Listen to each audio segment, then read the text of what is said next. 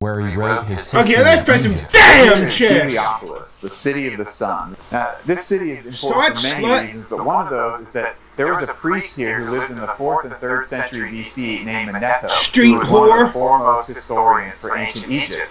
And in his writings, Manetho tells us that the pharaoh of the Exodus was someone named Amenhotep. The pharaohs that are named Amenhotep are found in the 18th dynasty, and so in the 18th dynasty, you have Amenhotep the first, second, third, etc. And so, which one of these is the one that Manetho is referring to? And the best way to figure this out is to use the biblical date of the Exodus, which is found in 1 Kings 6:1. 1 Kings 6.1 says, In the 480th year after the Israelites came out of Egypt, in the fourth year of Solomon's reign over Israel, in the month of Ziv, the second month, he began to build the temple of the Lord. So there's 480 years between these two events, when the Israelites came out of Egypt, the Exodus, and the fourth year of Solomon's reign. It's very well established that the fourth year of Solomon's reign is 966 BC. So to get the date of the Exodus, all we have to do is add 480 years to 966 BC, and we get 1446 BC, which is the biblical date of the Exodus. Now we can turn our attention Come on, back to the Egyptian chronology. Stop the damn game. simple question: Is there a pharaoh named Amenhotep that is reigning during the biblical date 1446 You BC? slut. Amenhotep the first From China? 1546 to 1526. His reign is too early.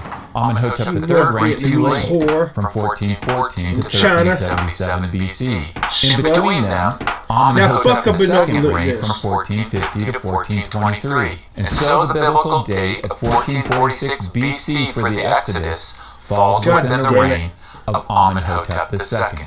The Amenhotep that Manetho is writing about must be Amenhotep II because the dates of his reign are in sync with the biblical date of the Exodus. There's additional information from other verses in the Bible that can also be used to further test Amenhotep II. For example, in Exodus, it talks about the Pharaoh that reigns before the Exodus Pharaoh, and he is often referred to as the Pharaoh of the oppression. In the book of Exodus, we're told that Pharaoh tried to kill Moses, but Moses fled from Pharaoh and went to live in Midian. During that long period, the king of Egypt died. Because the Lord Moses in Midian, Go back to Egypt. In the New Testament, in Acts chapter 7, Stephen is retelling how Moses fled to Midian. But then, after 40 years had passed, he returned to Egypt. We can test this then with Amenhotep II. Did the predecessor of Amenhotep II reign? I see than dick in your future. I see predecessor dick. was his father, uh, Thutmose III. And Thutmose I see a had a dick in reign your of future. 54 I years. see a He's dick. the only pharaoh Dick. in uh, the Dick. 18th dynasty that had a reign for more than 40 years. So Amenhotep II fucker. passes this test. Exodus 11:5 says of the tenth plague that every firstborn son in Egypt will die, including the firstborn son of Pharaoh, who sits on the throne. If Amenhotep II is the Exodus Pharaoh, then his firstborn son should have died in the tenth plague. And so the successor of Amenhotep II is his son, Thutmose IV, who is not God his firstborn son. His firstborn son died mysteriously, we know from the Egyptian records. God fucking damn it. God fucking damn it.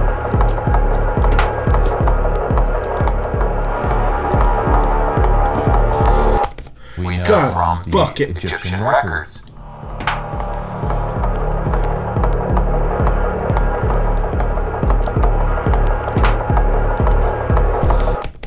Born the second is his son, Thutmose IV, who is not his firstborn son. His firstborn son died mysteriously, we my know from the Egyptian records.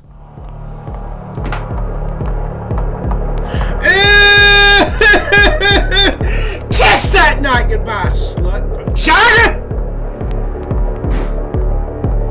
Suck my slut. This is the Suck Great my Sphinx slut. of Giza. And between the paws of the Sphinx is what's called the Sphinx dream stele. This was commissioned by Pharaoh Thutmose IV, who told a story about he came down to the Sphinx, he took a nap, and while he was sleeping, the gods came to him in a dream, and they promised to him that he would become the next Pharaoh. This was strange because he had an older brother who was the crown prince, but this older brother had mysteriously died and disappeared from history. This was propaganda he used the gods to give him divine legitimacy when he wasn't expected to become the next pharaoh. So we have uh, Amenhotep II passing these tests, these biblical criteria, because uh, his predecessor reigned for over 40 years, and the one who succeeded him to the throne was not his firstborn son. Next, we travel deep into the region of the Delta, to the ancient site of Avaris. One of the main excavators of Avaris is the Austrian fucked up and archaeologist Manfred fucking and he's the one that excavated the 18th dynasty palace there. So we are here at Avaris, and this is where the palace of Amenhotep II uh, was uh, discovered and excavated. Yeah, starts in that corner essentially. So we're just out in an agricultural field right here. This is all. We can see pa- pottery around. We can see a few foundation stones around, but this is where the 18th dynasty palace stood. In this field underneath our feet and behind me here. But this is this is a palace that has been discovered. This is a palace that has been excavated. How long have they been excavating in this area? Come on, you snot that slut. And yet there's like nothing hardly to see here. Um, it's just all been turned back into agricultural fields. Yeah, mostly pottery and maps. Bietak reported that the archaeology demonstrated I'll pay patty that the patty cakes all night long of to this stairway. covers the time from Ahmose to Amenhotep II. Ah! This palace complex was occupied through the reigns of Thutmose III and Amenhotep II when it was suddenly and mysteriously abandoned. So the excavations at the 18th dynasty palace in Avaris provided then archaeological evidence to support Amenhotep II as the Exodus pharaoh. Son of a bitch. One of the most impressive pharaohs in all of Egyptian history is the pharaoh Ramses II. And so it was very early on that Egyptologists started to propose that Ramses II must have some connection with the Exodus. I'm here at Memphis. This is the first capital of Egypt. And below me is this colossal statue of Ramses II, who built this site up during his reign.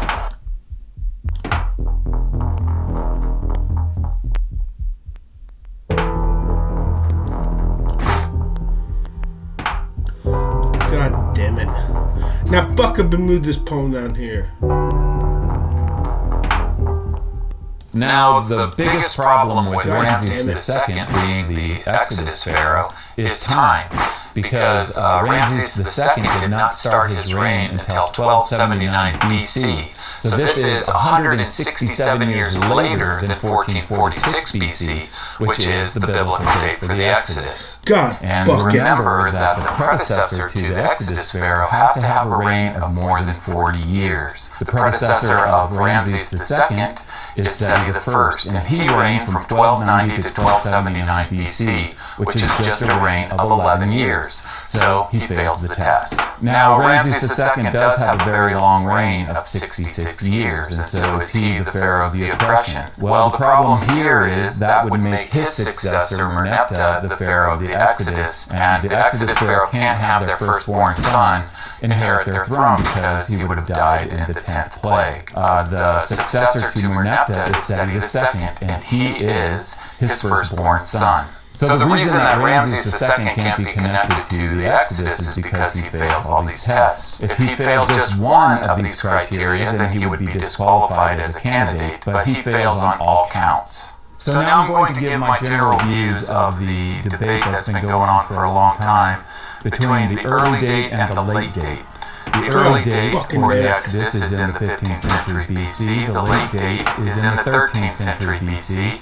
And this is Amenhotep II versus Ramses II as Pharaoh of the Exodus. The main verse that's used for the late date is Exodus 1:11. And here we have the Israelites under the slave masters who build a store city named Ramses. And so the idea is that this city named Ramses is connected to the pharaoh Ramses II, and therefore the Exodus must date to his time. The Avaris was established in the 12th dynasty, but in the 19th dynasty to the north, a new city and palace emerged called Pi-Ramses. Now, in the book of Exodus, we see that one of the store cities that's built is called Ramses. Some have explained this as scribal updating later on, but there's a possibility that this area was also called Ramses during the 18th Suck my dynasty. dick, bitch. Now, it's important to understand that Exodus 1:11 is not in conflict with the early date. So even if the name Ramses is a late name for the city, it's still not a problem for the early date because Get that sometimes the dead Bible nut outta you, uses slut. later names for cities in place of earlier ones. A good example of this is the city of Dan. In Judges 18, we have the Danites capture and rebuild a city, and then they name it Dan after their ancestor, though it formerly been called Laish. Uh, then we can go back in time, all the way back to Genesis 14, 14, which tells us that Abram went as far as Dan. So here we have a clear example of the later name for the city Dan, replacing the earlier name Laish. Uh, and this is done because the Israelites were more familiar Now, fuck with up the and move name that Dan. king right here. And so this is what may be going on in Exodus 1:11, It's time to Gen Ed's where we Uzi have possibly the later name for the Gen city Ed's Ramses Uzi being Gen Ed's used Uzi instead of the earlier name. Just as we wouldn't date Abram using the name of the city Dan in Genesis 14:14, so we shouldn't date the Exodus by the name of the city Ramses in Exodus 1:11. The main verses we've already covered for the early date is 1 Kings 6:1. This is a real problem for the late date. And so the way that they uh, argue against 1 Kings 6:1 is they say that the 480 years that's mentioned there uh, shouldn't be considered. It's not a literal number. Uh, what this is really talking about, they argue, is 12 generations of 40 years. But then they say 40 years is too long for a generation. Oh, just it really should be 25 years. Ah! times 25 is 300 years. So if you reduce 480 years in 1 Kings 6.1 down to 300 years, then you've moved uh, the whole chronology 180 years later in time, and then it fits the reign of Ramses II. Before the late date theory came along, nobody read 1 Kings 6.1 and, and read 480 years and said, oh, I, I get it, that really means 300 years. This is a reinterpretation of this verse, and it's agenda driven. So, what's the agenda? The agenda is to make Ramses II the Pharaoh of the Exodus. Now, there's another problem with the late date with Judges 11:26. So, in Judges 11:26, we have Jephthah who says, "For 300 years Israel has occupied the land east of the Jordan." This took place around 1100 BC. When you add 300 years to 1100 BC, you get 1400 BC. Add the 40 years of oh, wilderness uh, wandering, and then you get this mid 15th century BC date for the Exodus, which is in agreement with the mid 15th century date of the Exodus from 1 Kings 6:1. So since Judges 11:26 also gives a 15th century BC date for the Exodus, then the late date scholars have to present their arguments against it. So what they say is that Jephthah is ah! unreliable. And the reason that they give is that he calls in verse 24 the name of the Ammonite god Chemosh, whereas later in the Bible, for example, in uh, 1 Kings 11:5, the name of the Ammonite I god is see a given as Moloch. future. So Jephthah can't see be trusted. He gives the wrong name of the god of the Ammonites, and so therefore, in verse 26, when it says there's 300 years, you can't trust that 300 years is being Ah! well, this is this is actually from Jephthah, uh, very important information about the Ammonites. He's telling us that earlier in their history they worshipped the god Chemosh, which makes sense because the god that the Moabites worship, and the Ammonites and the Moabites are brother nations uh, that come from Lot. And so um, they worshipped uh, early in their history. Chemosh, and then later they changed and adopted, for whatever reason, the worship of the Amorite god Moloch. Well, historically, nations sometimes change I'll take their that, not the gods. kingdom come! Examples of this is Babylon. Babylon changed their god. Nebuchadnezzar worshipped Marduk, and then Nabonidus led the people to worship the god Sin. Egypt changed its god during the reign of Akhenaten, and the Israelite prophets are almost constantly rebuking the Israelites for changing their god, right? Because they've forsaken their god who delivered them out of Egypt and are worshiping these other gods. So this is not any kind of proof uh, that that uh, Jephthah is being unreliable when he gives us the number 300. And again, these two uh, verses, 1 Kings 6:1 and Judges 11:26, complement each other. They confirm each other. It's very powerful evidence. And this is the same argument that these scholars use against Acts chapter 7 and the testimony of Stephen. He's unreliable, he's untrustworthy. They need to say this because Stephen gives information uh, that contradicts Ramses II as being the Pharaoh of the Exodus because he says that Moses returns to Egypt after 40 years had passed, which means that the predecessor, as we've looked at already, uh, of the Exodus Pharaoh needs to have reigned for more than 40 years, and the predecessor for Ramses II only reigned for 11 years. So they say the same thing. Well, Stephen's testimony is unreliable, it can't be trusted. And that's just simply not the case. So Manetho is a big problem for the I late just days. shit in my pants. Uh, because he doesn't name Ramses as the pharaoh of the Exodus, he names Amenhotep. Uh, so guess what the late date scholars say about Manetho? You guessed it, he's unreliable. Uh, and so the argument that they use against him is that uh, there's these variants. Now, of course, uh, for many ancient sources and ancient texts, there's later variants. Um, that's why we have textual criticism, uh, which is identifying those variants and trying to get as close as possible to the original. The general understanding for ancient texts is the earlier texts are usually considered more reliable than the later ones. And so, of all the historians that quote Manetho, by far the earliest is Josephus, and everything that we Get that whore comes outta here! out of Josephus. Uh, the other problem with Manetho being unreliable is that um, to this day, the framework for uh, for the history, laying out the history of ancient Egypt with these 30 dynasties that ruled over Egypt, uh, that all comes from Manetho. And so it really doesn't work just to write Manetho off as being unreliable. And in addition to all of this, we have the archaeology from Avaris, which shows that the 18th dynasty palace came to an end during the reign of Amenhotep II. Uh, the palace of the 19th dynasty in Pi-Ramses uh, didn't start with Ramses II, nor did it end after his reign. Really, uh, the reality is, is that the evidence for the date and the pharaoh of the Exodus is stacked on the early date side. God damn it. This is the mummy of Amenhotep II, and the evidence is clear that he was the pharaoh of the Exodus. What is the archaeological evidence for pharaoh of the Exodus? What Now is the burning archaeological evidence for the Exodus? Well, here's something. Uh, the mummy of Amenhotep II. According to the evidence, when you're looking at the mummy of Amenhotep II, you're looking at the very man who dealt with Moses, who hardened his heart and wouldn't let God's people go, who went through the ten plagues. This is the Pharaoh who God delivered his people from. So don't forget to hit that subscribe button. I'll leave a link in the description where you can order a copy of my book. Uh, you can watch other videos that we produced here. And thanks for watching. I'll catch you next time.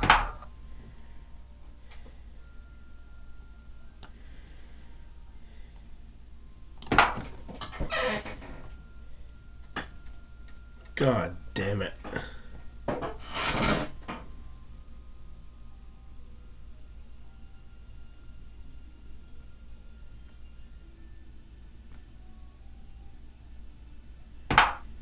God fucking damn it.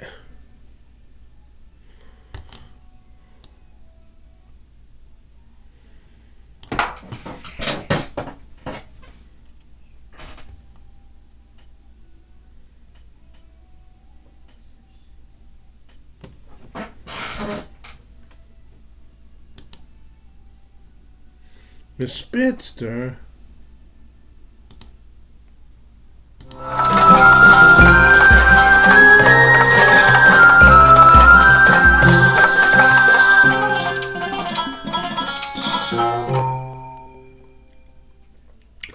Man, Hello and look welcome back to Let the Stone Speak. This is the podcast where we talk about the latest in biblical archaeology. I'm here with archaeologist Christopher Eames today. Hello, Brent. Chris is one of our writers uh, for our magazine, Let the Stone Speak. This is a magazine that covers biblical archaeology. It's produced by the Armstrong Institute of Biblical Archaeology here in Jerusalem, Moose Israel. And China. It's available for free if you're interested in getting yourself a copy. Our latest edition talks about the discovery of Joshua's altar up on Mount Ebal, as well as a, a curse tablet that was found there recently. And we also have articles that detail and revolve around the Exodus period because we are coming up to Pesach, the days of unleavened bread. And Chris here has written an article entitled Searching for Egypt in Israel. And so we're going to be talking about some of the really interesting facets of this article today.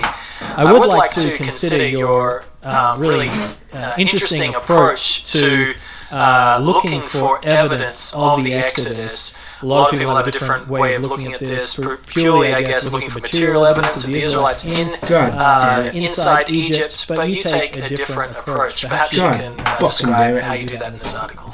Sure. Well, uh, good to be here again, Brent. Thanks for having me What the on. fuck is this And um, um, when, when it comes to a lot of these articles that we write, uh, a lot of what we do is looking at archaeological discovery, digs, new discoveries that are being made, and how they relate to the Bible.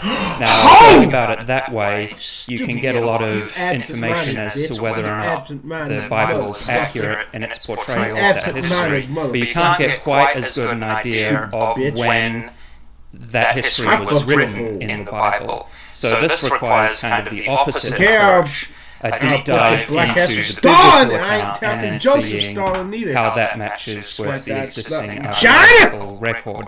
And when it comes to the Torah, the first five books of the Bible, that's really a critical element. Not just did these things happen or not, but was this written about in the time period that the Bible says it was by a Mosaic figure who lived in the second half of the second millennium BCE. That's a really critical part of the account.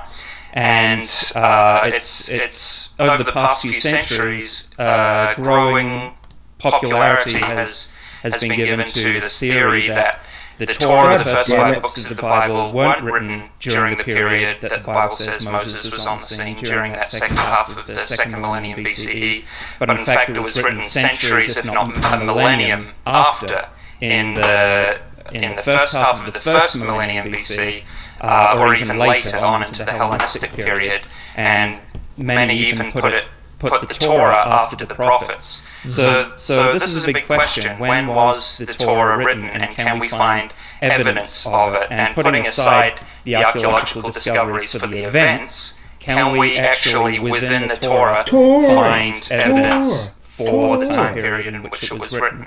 And I think that's that's something that, that there's, a- as we'll cover today, there's a lot of really fascinating evidence for it when you look at it that way. To see actually putting to putting to the side the discoveries relating to Israel and Egypt. What if we look for those Egyptian elements that have been transferred across language and, and things really unique to this specific second millennium BCE period in time in the Torah itself, or in other words, Egypt and Israel.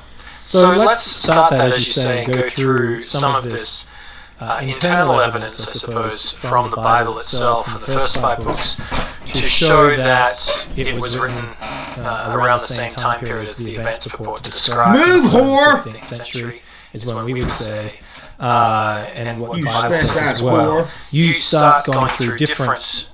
Um, you've got showing how geography fits in, how the names fit in as well. We're going to start with how some of the phraseology inside the Exodus account and the first five books in general really uh, match with, uh, with an early writing of this. Sure. Well, uh, just to frame this conversation as well, there's a lot of debate about when the Bi- when the biblical Exodus took place. There's the, the debate about was it 15th century, was it 13th century. So in general, for this article, I've kept it to the New Kingdom period. So you, That's, that uh, this argument is not going to Right. place. So the New Kingdom period basically covers from 1550 BCE to about uh, 500 years later, 1050, 1075.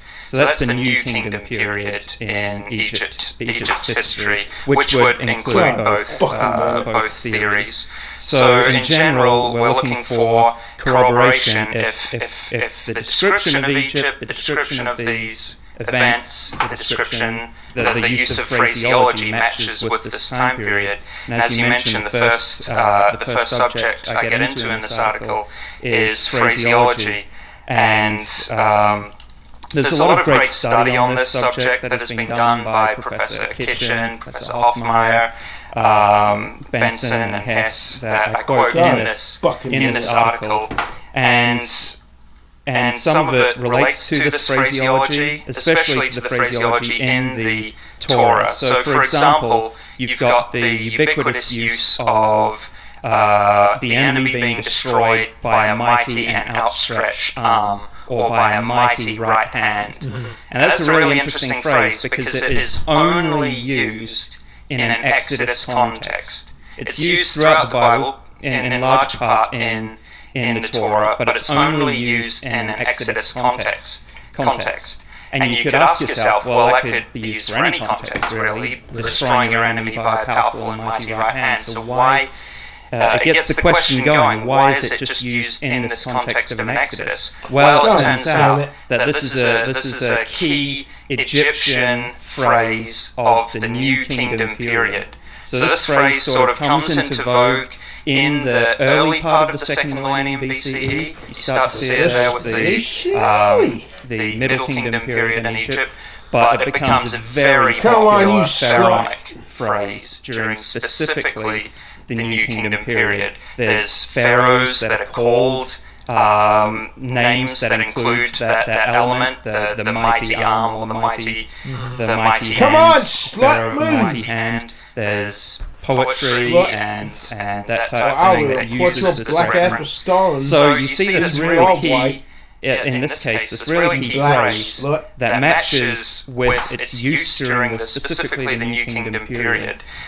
But it's really neat because in the Bible you see it flipped on its head. You see God praised for destroying the Pharaoh with his mighty and outstretched hand. Right. So you see, you see it flipped like that, but also the use of that phrase really is uh, quite a neat shadow to what was a common phrase at that time period. Now, another example is the destroying of your enemies like chaff or like stubble. And this this uh, descriptor, this, this phrase as well, is only found in New Kingdom period Egypt. Only found Now in New Kingdom period Egypt. It's not found in any other kind of archaeological context anywhere else. I believe it's uh, from the. Kadesh poem from the New Kingdom period, um, the 13th century BCE, as a reference to like chaff. And we see this phrase appear in the Bible from the book of Exodus onwards, from Exodus 15. So you've got some really key phrases that are specific to a, a that, that, that go back to a very specific time period in Egyptian history. And then when you look at the wider accounts, so take Deuteronomy, for example, the book of Deuteronomy, um, the, it, as we mentioned at the top of this program, it's kind of come into vogue that maybe this was a later book, maybe 7th century it was kind of imagined. No. And You are not some gonna of trick these, that. some of the skeptics shit. point to uh, the conclusion of the book of Chronicles, damn. Deuteronomy 34, it talks about Moses' death and burial. fucked up. And they're like, well, how, how could Moses have written that about his death and burial? It's obvi- obviously the Torah wasn't written by Moses, which no one's saying that Moses wrote that. That's obviously a an editorial addition later on. Uh, but when you take the book of Deuteronomy as a whole and compare it to texts throughout the ancient world, Deuteronomy is Moses' final address to the people of Israel. It's, it's, uh, he, he's laying out uh, his final wishes, commands to the people of Israel. And what's really neat about the book of Deuteronomy is it matches clearly second millennium BCE, late second millennium BCE treaties that have been found all throughout Mesopotamia, the Levant, especially those found uh, belonging to the Hittite Empire. There's quite a few that have been found and preserved from them from the second half of the second millennium BCE. And the layout of these treaties, these suzerainty treaties, they're called, God. matches exactly with the book of Deuteronomy, starting out with the preamble, going through a historical background, treaty stipulations, invocation of witnesses, onto a deposition of a written copy of the treaty, and then concluding with curses and blessings for obedience or disobedience to that treaty. And Professor Kenneth Kitchen, he went through nearly 40 different examples of these treaties or similar such that directly match to the book of Deuteronomy. And based on that, he says there's no way that this was some imagined um, account, script, whatever, from the mid first millennium BCE. This is clearly a text from the late second millennium. BCE. So that's, some of the broader uh, context in which it was written, I suppose, the phraseology as well. And go on to talk about the geography uh, that the, the first five books of the Bible uh, mention, and how that too reveals an intimate knowledge of Egypt and an Egyptian perspective, uh, when, how it's written, rather than, let's say, a Judean perspective reflecting back. Could you give some examples of that? Right. So if if if this if the Torah was written by a by Ju- late Judean authors, you would expect them to have a better knowledge of Judah and the geography there, and kind of more of a hazy uh, image of Egypt at this time. But instead, we find exactly the opposite. Which fits directly with the biblical account. A Mosaic figure who was born in Egypt, grew up in that kind of princely setting, but yet wasn't allowed to enter the promised land. So we see the we see the reverse in in the Torah, and that matches with discoveries on the ground as well. And several several points mentioned in the Torah would be totally God redundant damn it. to a late writer or a more more Judean familiar writer. Like you've got um, descriptions of the, the land of Canaan mentioned in God, reference to what they're like, to pla- what places are like in Egypt. So this place in Canaan, which is a lot like this place in Egypt, you've got uh, like one most arbitrary statement that Shechem is. Uh, Genesis 33 verse 18 says that Shechem, which is in the land of Canaan. Well, obviously Shechem's in the land of Canaan. For a late writer, that's like your most major city. It'd be like saying New York, which is in the land God of damn America. it. Um, for late writers, that would just be the most redundant statement. But for a figure writing in God the second millennium fucking BC, damn an Egyptian-based figure, that just God makes sense. fucking You've got several several statements like that, and then the familiarity as well with with particulars God about fucking Egypt. So the author of the Torah knows that you could put a basket in the Nile River, and it'd be fine with the child in it. You couldn't do that with the Jordan River for at least a, at least a good portion of the year. Um, you've got the the author of the Torah, Torah mentioning gardening practices in Egypt and how different it is, it, or it would be from the the practices in Canaan or the more natural practices because you get more rainfall in Canaan, so you don't need to have all of these gardening practices specific to Egypt. Uh, so you've got a lot of really neat particulars like that, and even the, the things that aren't mentioned. So Ju- Jerusalem is nowhere mentioned in the Torah. Nowhere mentioned by that name, but it's mentioned nearly a thousand times throughout the rest of the Bible. fucking So if late authors were writing about it, why didn't they use God this fucking name in the it. Torah? Because the Torah does mention the region that includes Jerusalem, Genesis 14, Genesis 22, but it never names it that way. It, it only takes on that name from the conquest period, from the book of Joshua, as you've got the Israelites coming into the land.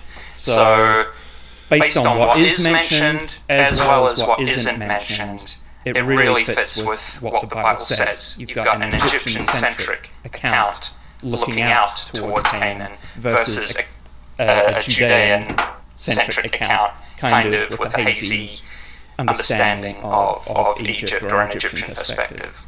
And then, you also, kind of following on from geography, you also look at the flora and fauna that's mentioned, uh, even going as specific as to the Exodus accounts about what they were eating, what the Israelites lusted after uh, from Egypt, and, and that too uh, fits well within this context. Right. So regarding what the Israelites were eating, there's a passage in Numbers 11, verse 5, that talks about the Israelites longing to go back to to Egypt and to have the leeks and the onions that they were eating. And this really matches quite beautifully with the statement by Herodotus, the Greek historian, who actually writes about traveling to Egypt and being toured around a, a pyramid in which there was an inscription on the wall of this pyramid in ancient Egyptian hieroglyphics that says that the workmen were fed leeks and onions. So there's a real match with even just the food that was that was given to the, the Israelite slaves.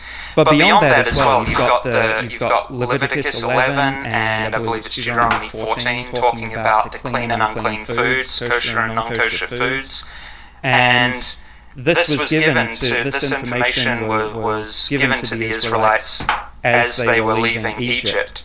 And a lot of the animals that, that are specifically enumerated are native or specific to Egypt or the Sinai. None of them are native or specific to Israel. Hmm. So with the with Deut- Deuteronomy 14 and Leviticus 11, you've got principles for determining clean and unclean foods. But then uh, you'll remember there's a lot of specific animals, and those specifically enumerated animals are what is the Israelite slaves would have been I familiar think with get pissed off if I and witnessed in Sinai or in Egypt. Whereas you would expect the reverse if this was a late work, or even none of this information at all, if this was a late work um, uh, written during the first millennium BCE. Uh, you have other details like materials used. So acacia wood is mentioned quite a lot in the Torah for the building of the tabernacle.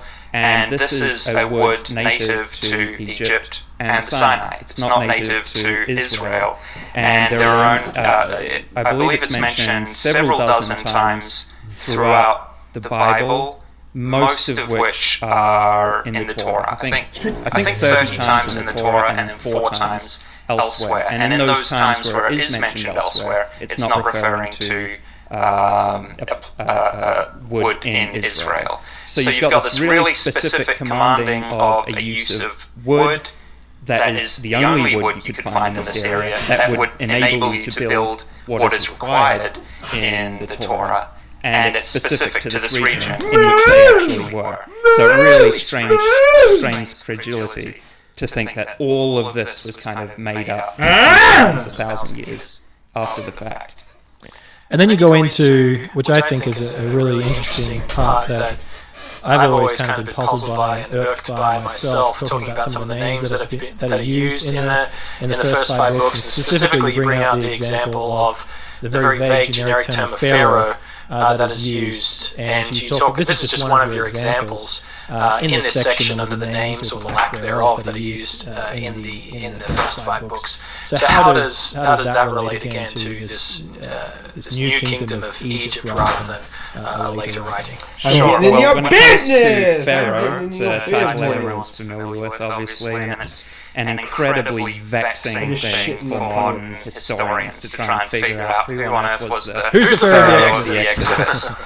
And um, far from it being a sign of a clueless author, I mean, if, if, if all these other things are so specific and exact that we've gone through already, finding the name, any name of a pharaoh in Egypt from this time period would be the easiest thing. Just go and get some kind of a pharaonic chronology and pick a pharaoh. If you're making this up, it'd be the easiest thing of all these things we've discovered to get. But actually, if we look at the New Kingdom period, this was to, to not use the specific name of the pharaoh, but to use the title of the pharaoh. This was a practice specific again to the New Kingdom period. So from the 1500s BCE onwards, you have this term pharaoh start to be used, and then um, and then uh, getting up to about the end of the New Kingdom period, around 1000 BCE, that that God name falls out, and you have the you have the t- the, the personal names of the pharaohs used. So, if the Torah, let's just say, was written during the time of Joseph, way in the past, during the time of Abraham, you would expect uh, that would be impossible, but you would expect the pharaoh to be named. Right. And conversely, if it was written way after the fact, during the first millennium BCE, you would expect the pharaoh to be named. But during this window of the New Kingdom period, you would not expect You're gonna to lose be that. And that's exactly what we find. As frustrating as it can be to historians, that's exactly what we find, that the pharaoh isn't named. So you would say finding a, finding a name on the pharaoh attached to the Exodus would be like, well, that's probably a sign that this was written in a later time. Right, if anything, that's a sign that, yeah, this was written at a later Come on, you bitch. So what about some of the other names? I think Moses' name himself is, is quite famous. God People might know fucking it's damn it. of Egyptian origin. Perhaps you can talk about that and then a few more. Sure. Well, Moses or Mose or Moshe in uh, Hebrew God is pretty pretty well known to link to to Egypt. God Um, fucking damn it. it's a name that mean, that means born of, to be born of, and it's a name that we find quite frequently during the New Kingdom period, especially God during the New it. Kingdom period. And you find the name element in numerous other pharaohs' names or officials' God names. fucking You've got damn it. Thutmose, Ahmose, Amenmose, Ramose, Wadjmose, God fucking- Ramses is another one. And you've even got the name by itself, some high officials called Mose or Moses. Um, so, so Moses is a pretty well-known example. But then you've got others as well. You've got Aaron or Aharon in Hebrew. So uh, this fuck, you just fucked up. this is a pretty well-known name for, for the meaning being unclear as to what it means in Hebrew, but it matches pretty closely with an Egyptian name meaning uh, lion warrior, Ahura or Ahuro, um, meaning lion warrior with the with the added an suffix on the end. Come You've got on, Moses and Aaron's sister Miriam. So the name Miriamon was a common name in Egypt, meaning beloved of the god Ammon. So Mary being beloved. So perhaps Miriam was just a clipped form of Miriamon um, from, suck from that period as well. So Now, you've got, you've got these names that match quite incredibly, but, but as you talk about as well, and as applies to these other things we've already discussed, the lack of certain names that are mentioned are notable. So the name Baal We'll play patty cake, uh, patty are not long! Obviously, uh, uh, during during the Judges period and onwards, basically as soon as Israel enters Canaan, Don't even this is a think big about problem it! for Israel. Judges period, monarchical period.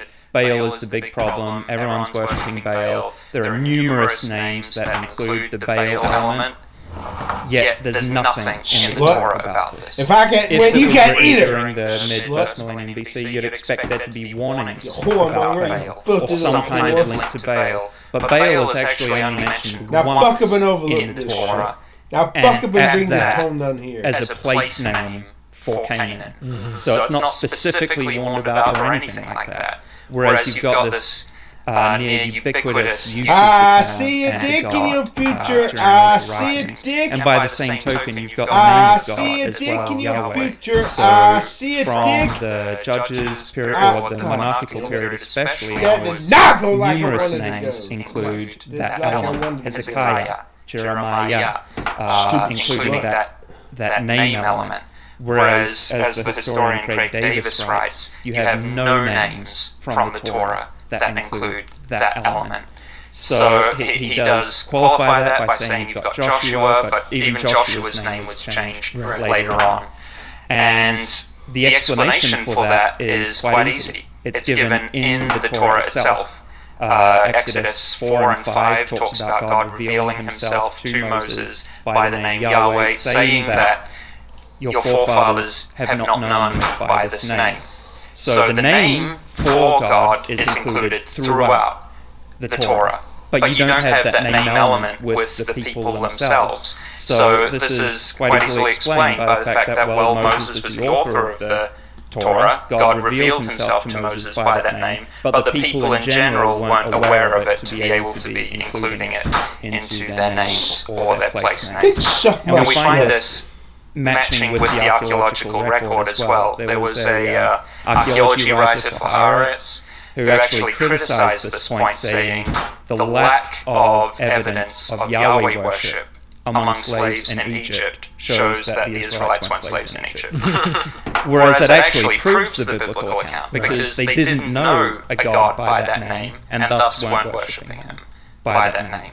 So, if the inverse, like you said about the, the Pharaoh, if the inverse was the case, if you were finding this this thorough worship of Yahweh in Egypt among slaves, that would be evidence against the Bible potentially. Right. Well, we actually have so much more in this article, but we're not going to get through it.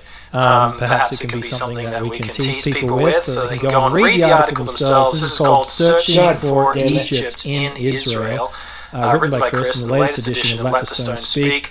I'll just this is your second, uh, to, the third to last paragraph. We'll just quote this, and then we'll go. It says, "Who then should be most logically?" Who then should most logically be identified as the scribe of the Torah? When was its composition? Evidence for the Exodus events themselves aside, the internal linguistic data remarkably and consistently establish that the Torah was written during the late second millennium BCE.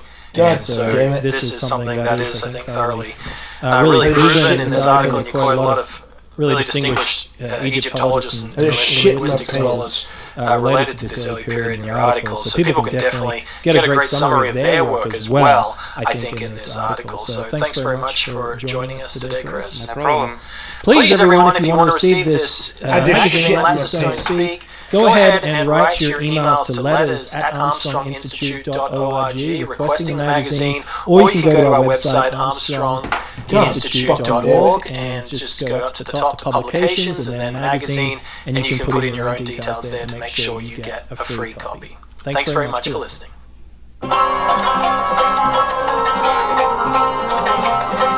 What did they spit? God fucking damn it. You, you're really starting to fucking piss me off.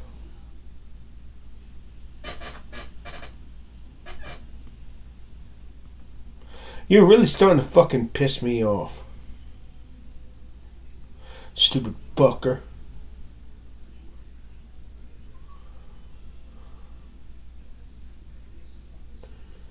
Really starting to fucking piss me off. Pissing me. You're really pissing me off. God fucking damn it. You fucking bitch. Man, see, you see, that fucking pisses me off. I miscalculated that fucking night. God, fuck it. You see, that fucking pisses me off.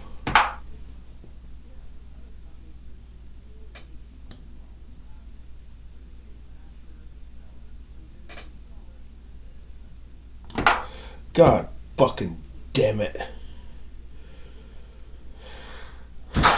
God damn it. God fucking damn it. God fuck it. God fucking damn it. God fuck it. God fucking damn it. God fuck it. God fucking damn it. Suck my dick, bitch. Suck my dick, bitch.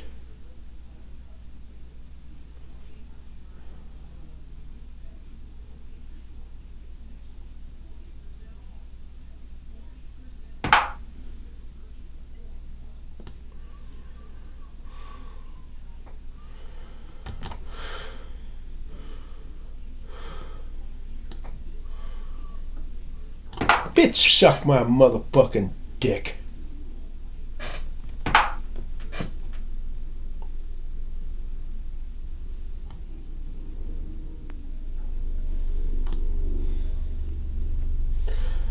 Suck my slut.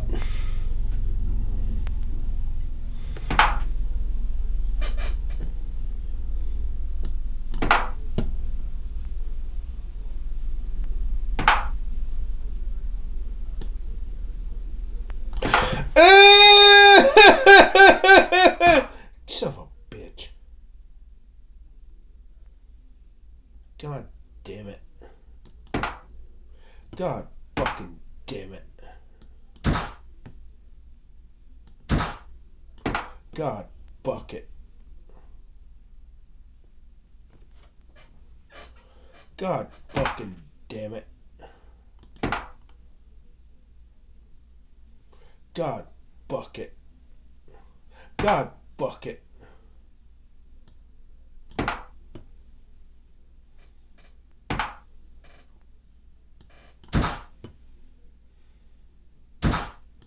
God fucking damn it.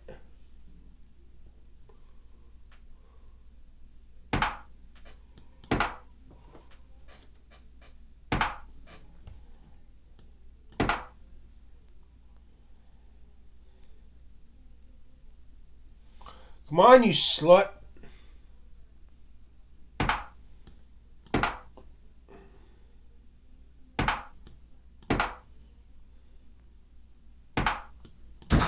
Ah!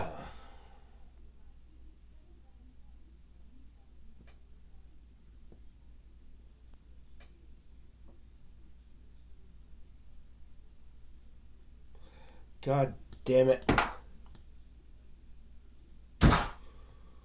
Come on, you slant-eyed slut.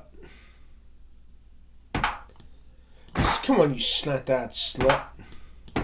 We'll put patty cakes, patty cakes all that long! Slut.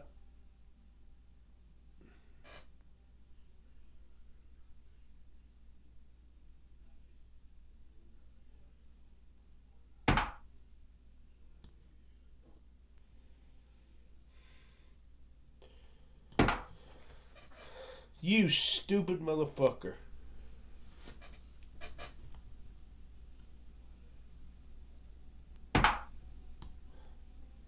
Ah! Stupid bitch. God damn it. God fucking damn it.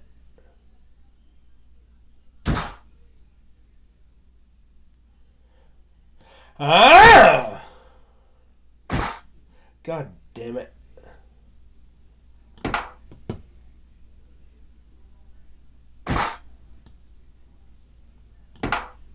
Now fuck up and overlook this.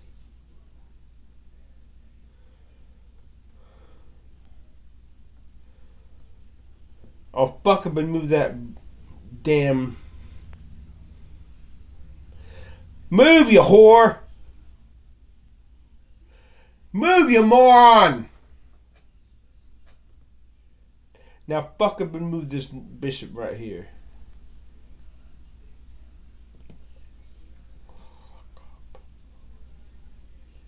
Move! Move! Move! Move, you slut.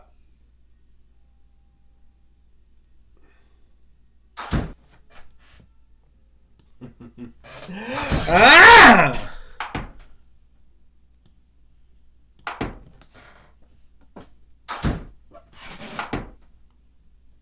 You stupid bitch.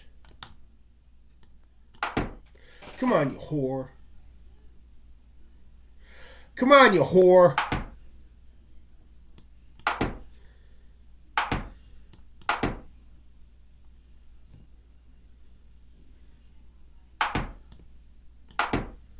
God damn it.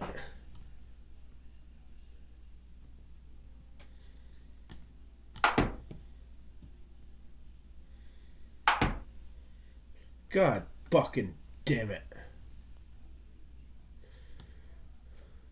god. fuck it!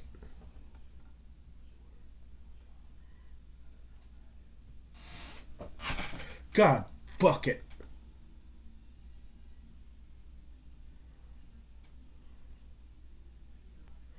Come on, you slut.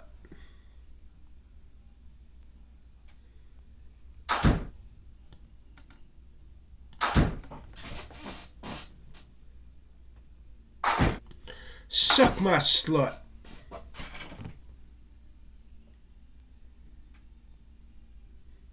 Fucking pone.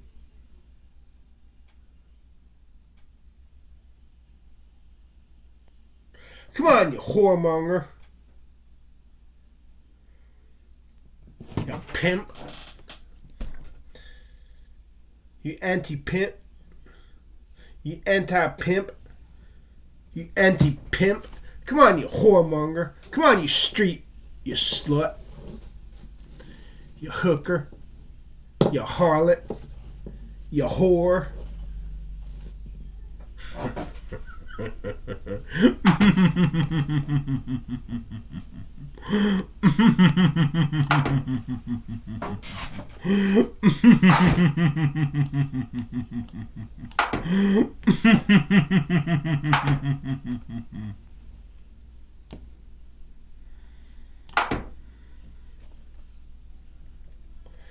Come on, you whore.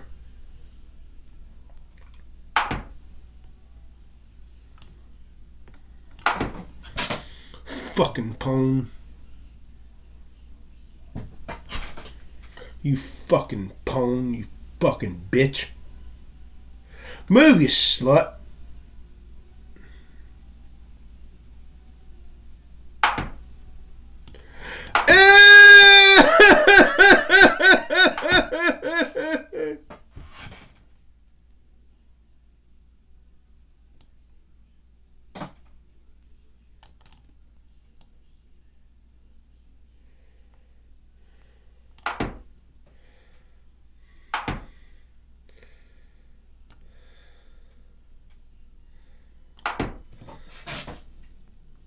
Now fuck up into this work right here.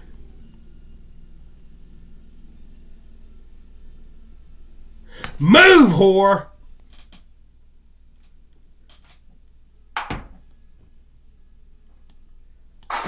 Stupid slut.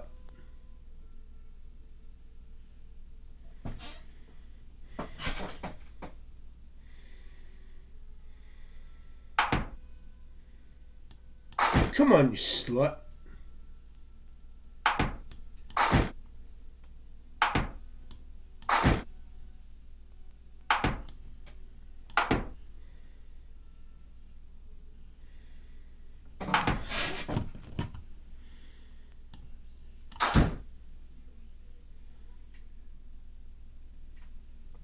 How I got rid of that fucking tongue.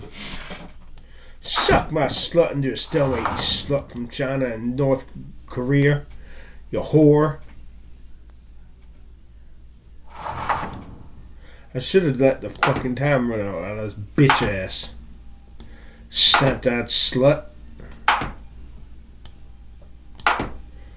Why in the fuck am I doing that?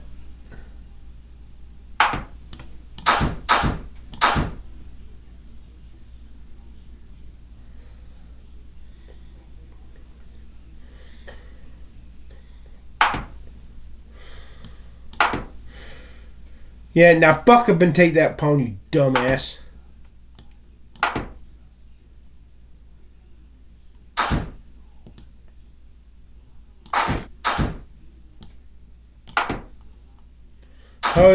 It's gonna be a fucking slaughter fest is what this fucking shit is gonna be.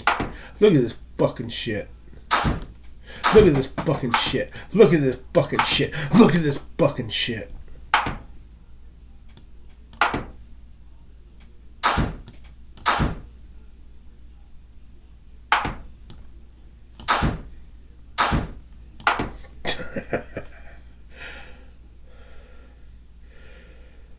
You're not so sure about that, are you, slut?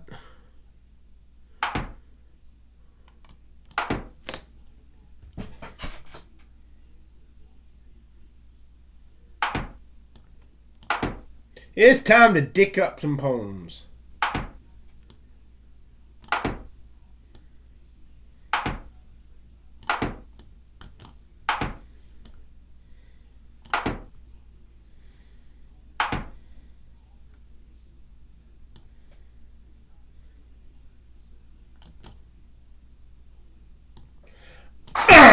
Slut. I just shit in my pants.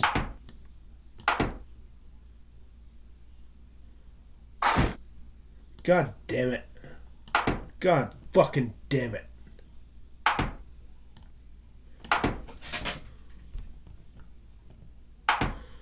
God fucking damn it.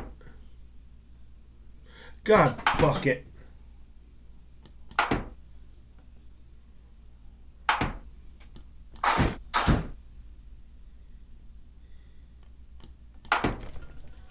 God fucking damn it.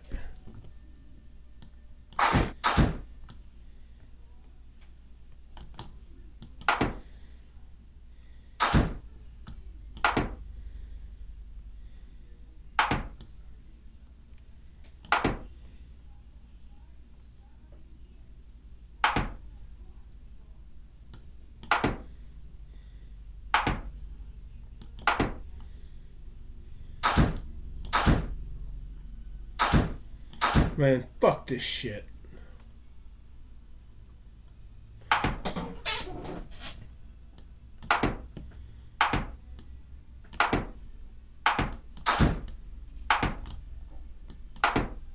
God damn it.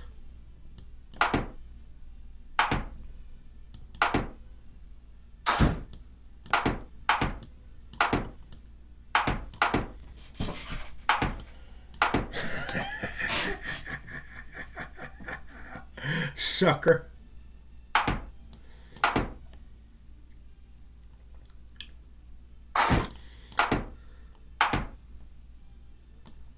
God damn it. God fucking damn it. God fucking da- God shit fuck. God bucket.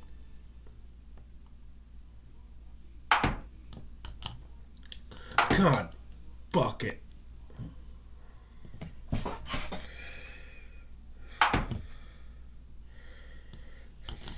Bitch, you suck my motherfucking slut. Suck my slut. Suck my slut. Suck my slut. Man, god damn it.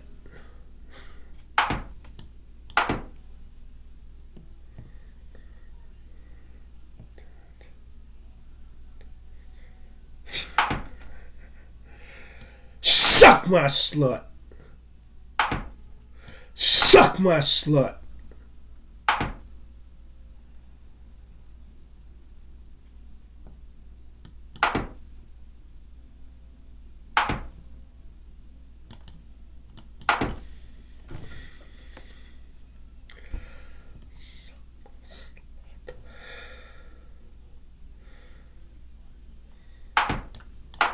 Stupid! Slut.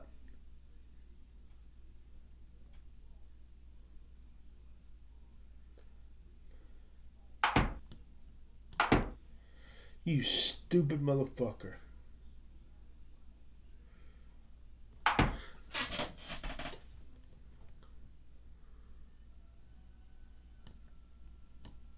Come on, you slut. with spit, spit, spit. Suck my slut.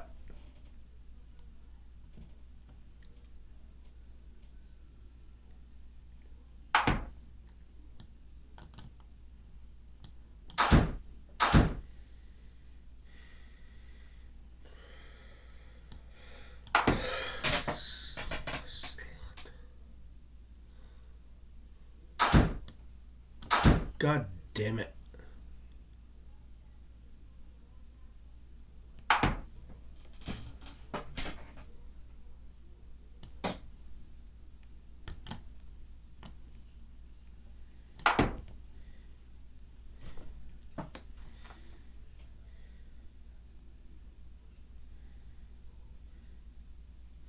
Man, I do not like this shit.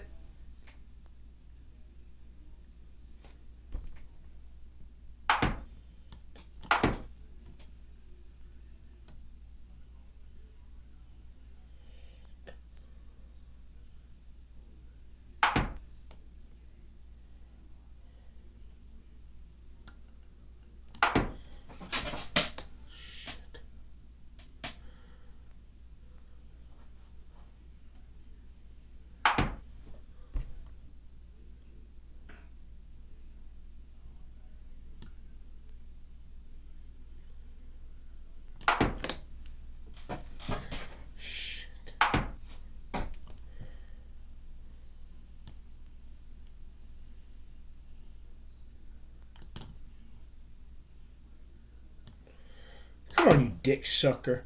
Quit this shit, you stupid bitch. Get that fucking knot out of you, slut.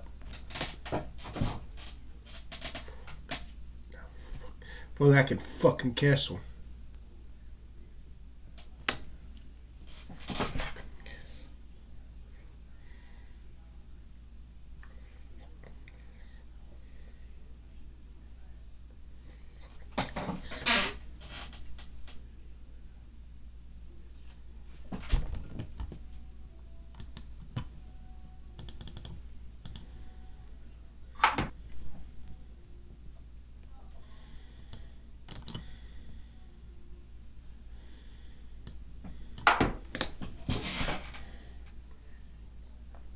Now I got a fucking castle.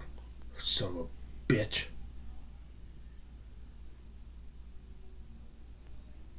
Son of a bitch. Ah, I, I just unpercented the fuck out of you. You stupid bitch. Suck my dick, bitch.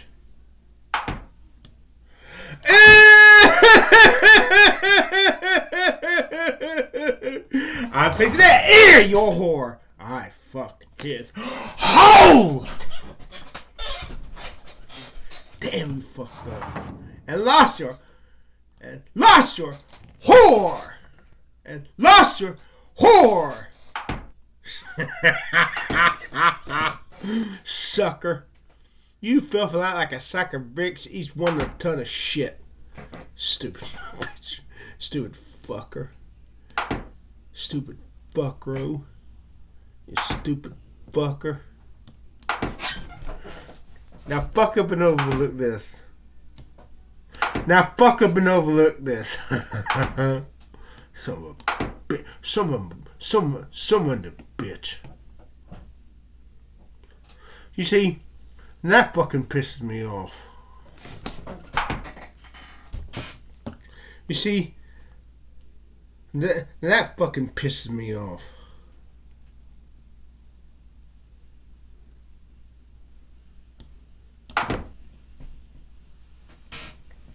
You see, now that fucking pisses now that fucking pisses me off. You see, now that fucking pisses me off.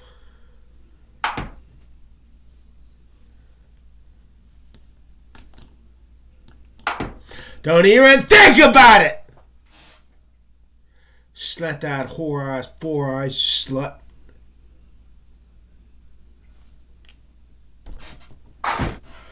You suck my dick, bitch. Don't even think about it!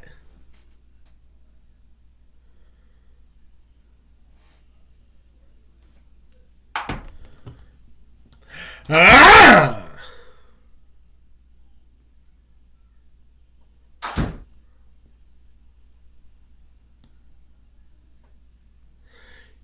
You either swap pores with me or I'm gonna ear your rook. Now fuck up and refuse to take that whore.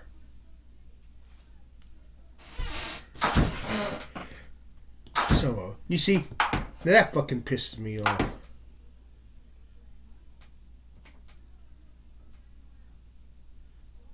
Come on, you slut.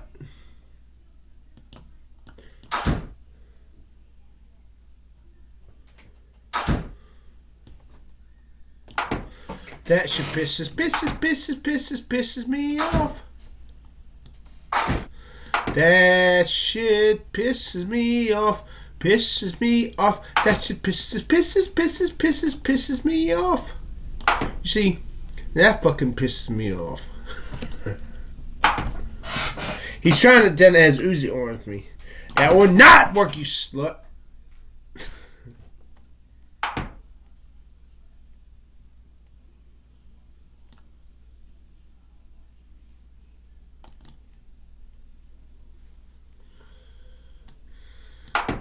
Come on, you snot that whore.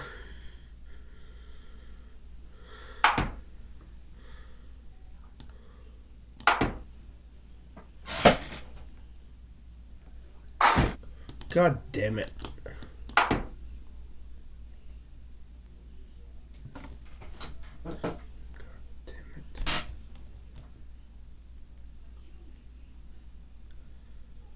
God fucking damn it.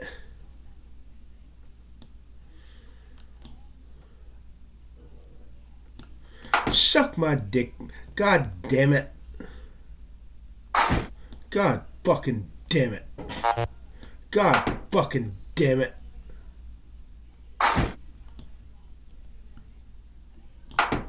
God fuck it. God fucking damn it. God damn it. God fucking damn it. God fucking damn it. God fucking damn it. God fuck it.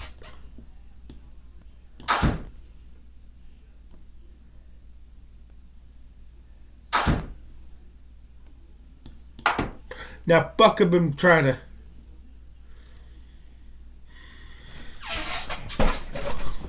You see, that fucking pisses me off. Move! Move, whore. Now fucking move this pawn down here.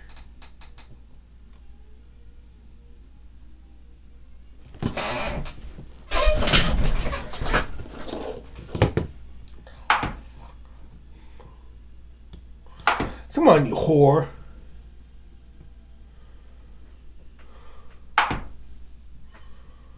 I'll chase that whore to kingdom come! Don't even think about it, slut.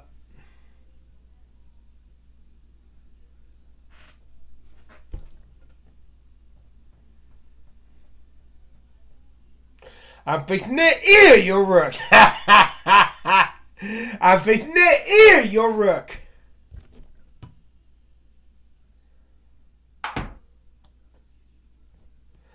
I'm fixing to ear your rook. Ah! I just eared your rook. Don't even think about it.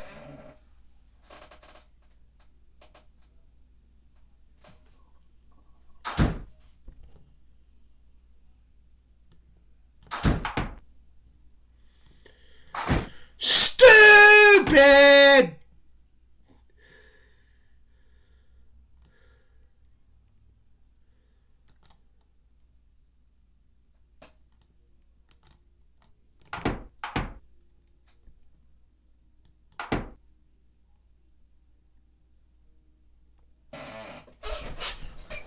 Cause you're one stupid son of a bitch.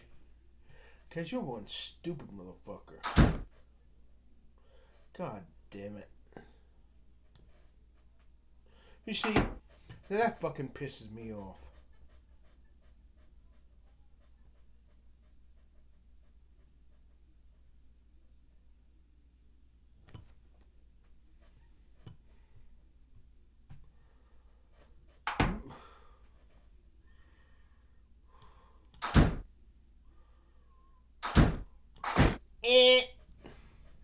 Now, fuck up and move this knight king right here.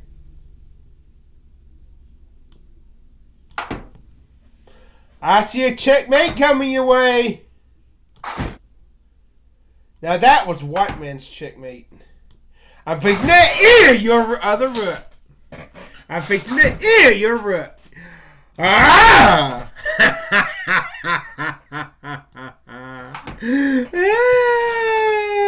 Ah, Stupid fucker.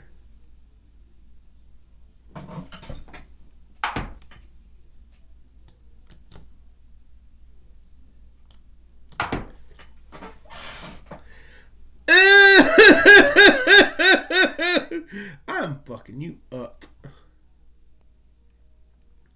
I got one word of advice for you. Resign.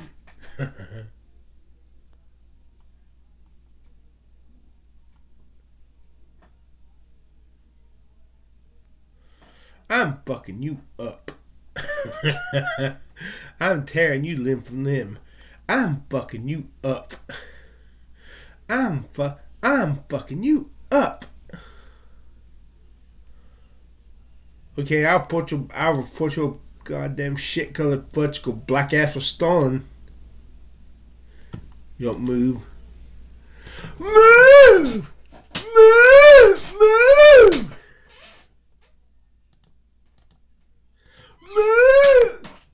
Move! Okay, how about I block your black ass? You fudgicle!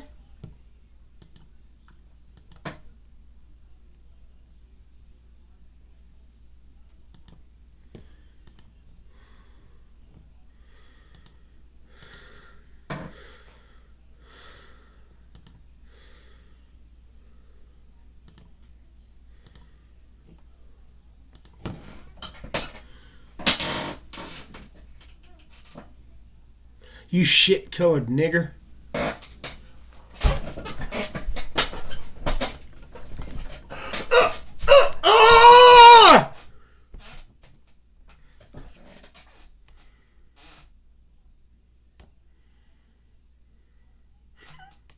Come on, you fudgesicle.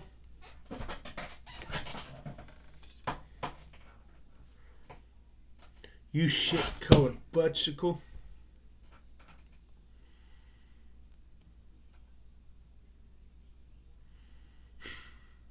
I'm fucking you up.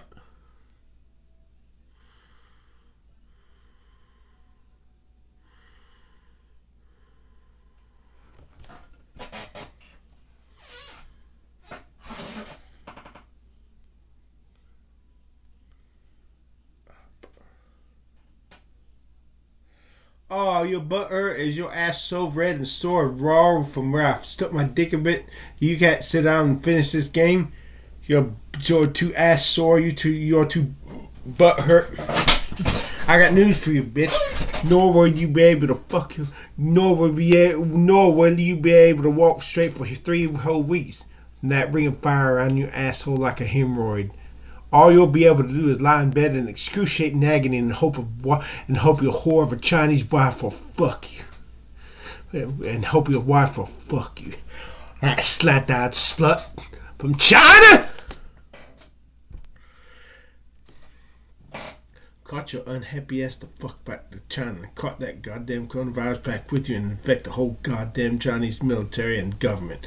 Kill them all and let God sort them the kill them all and let God sort them the fuck out. That way China cannot be a threat to the United States of America, at least as long as I fucking live. Or at least until I get to old age and it doesn't fucking matter if the Chinese China invades. No, for as long as I no forever. Make it forever. You're cheating, bitch. You're, you, you're hoping I'll be so eager to get on with the next game that I resign and let you win by default rather than wait here.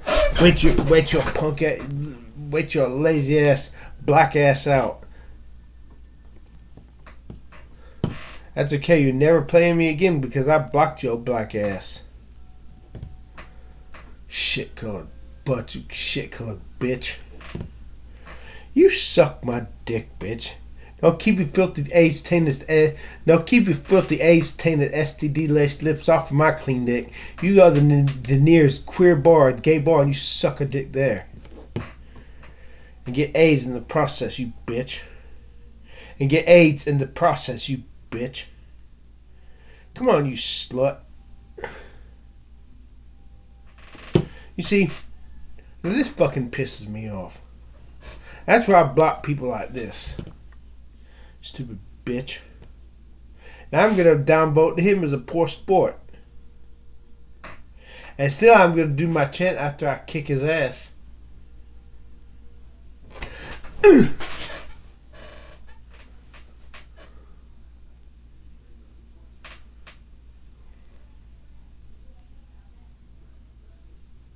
Man, look at this fucking shit.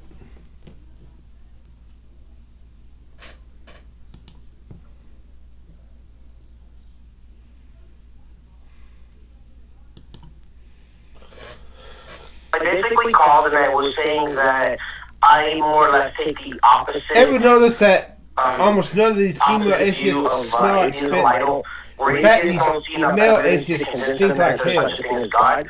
I don't see enough evidence to convince me that the universe could have come into existence without the need of a creative being. And that's what we sort of talked about. We went around talking about talking about that. So, what would be what would be evidence for you of, of something that would uh, be a natural universal outcome? Um. Well, that's that's the thing. That's that. Yeah, that was Like, what evidence do you expect to see that you don't yeah, I, see? I- yeah, I ain't that stroke-stricken retard like I used to be. I don't know. That's what I'm saying. Like, Yeah, not, I ain't that stroke-stricken. So you don't see evidence of a natural universe, but you don't know what the evidence would be that you'd expect to see for a natural universe. Well, that's what I'm getting to. Like, my, anybody that, any of my friends and family that know me, Ah, they know I have a very player. big, huge imagination. I always get accused of having a I fucked him up overactive some kind imagination, of and. I can't even rack my imagination and imagine how the universe could have come into existence without some kind of higher intelligent creative being that brought it into existence. I, I just can't see how that could be possible. Okay, do you see evidence of a being that creates universes? Okay, without appealing to a personal life experience. What um, personal life experience you do without appealing to a personal life experience? You're saying that you do see evidence that there is a being that creates universes. Is that what I understood? Yeah. Okay, what is this evidence for the being that you say is responsible for universes? Oh, okay, good. That's another one of the things we talked about as well. Um, the emergence and explosion of the early Christian church under such hostile conditions. Yeah, that's not really convincing. There are things that happen strangely all through history that are expected, unexpected, whatever, big surprising things that you wouldn't really think could occur that do. Um, historic events that are not super, you know, some sort of weird supernatural thing. I really don't know how I that hope I would don't look be like evidence of this, something just that like creates this guy, just like this guy. As you, Okay, well, given the Christian claim, the whole thing behind it, right? This is appealing to my, my personal life experience a little bit, but just the natural aspect of the whole hole! personal life experience, like they come with the territory of the life I live. Okay, I told you this as well in the last call. Uh, fuck. where I became a Christian, where I, Poor where I sport gave my life to bitch Christ, was from when I was going in and out of custody because my late teens early 20s. Come on, you was whoremonger spent from largely China. in jail. Always in and out of jail. Okay? And so, when hearing the Christian claim, because, you know, like I investigated that possibility, because I've heard and saw many different people who overcame criminality by giving their life to Christ, so obviously I would look at that avenue as a possibility to help me escape from a criminal life. God damn it. And when listening to the Christian claim and looking at the history, I had to ask myself, Don't even think about it, slut. if I was alive during that time and I stood before a judge and the judge told me all I had to do is stop stealing cars and you know, redeem me, return me to my normal life, and if I don't, he's going to feed me to the lions, Why stop stealing cars in a second. So it doesn't jive with that these people would say, go ahead, feed it to the lions, we'll never win out. I just So you ear, think, you're martyr, you think that martyrdom in a religion means the religion's claims are all true? Oh, but see, with martyrism and any other plot and any other claim in history, martyrism usually sparks a military uprising. But for the first three and a half centuries, There are tons of Buddhist martyrs who don't take up arms, that are pacifist. Some some of them even self-immolate, but they but they're not. I mean, I, you haven't. I don't know how, that there's been like very much aggression in Buddhism for centuries. I mean, but they, there's definitely Buddhist martyrs. Yeah, okay. Okay, but, but I'm just saying that martyrdom is not proof of, a, of that there is a being in existence that create has that, that has the power to and is creating universes. I'm asking for that.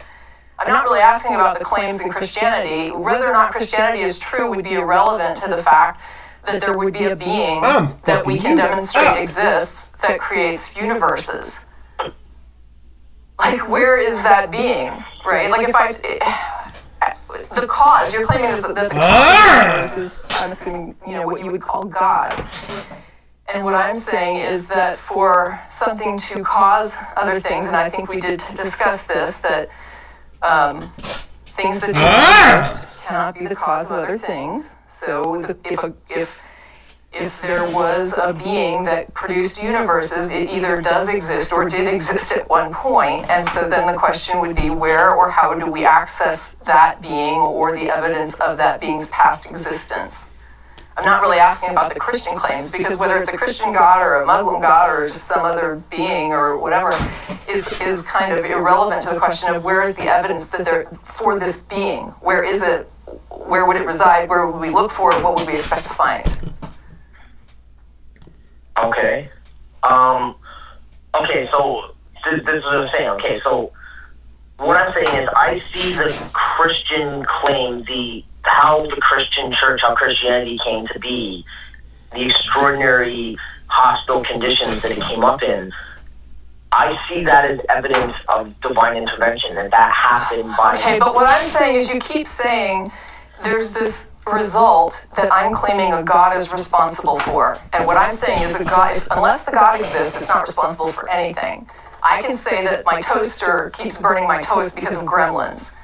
But unless I can demonstrate somehow gremlins, I'm just making a claim that you know this outcome is caused by this thing that I can't even demonstrate. What I'm asking you is, can you demonstrate that this God is there to be causing these weird things that you think are impossible without a God in the Christian church? To be causing a universe that you think can't be caused without this God? You keep saying, "Here's the results that I think the God and, and this God is causing this and this God is causing that," and I'm like, if there's no God, then it's not causing any of this. So we need to separate.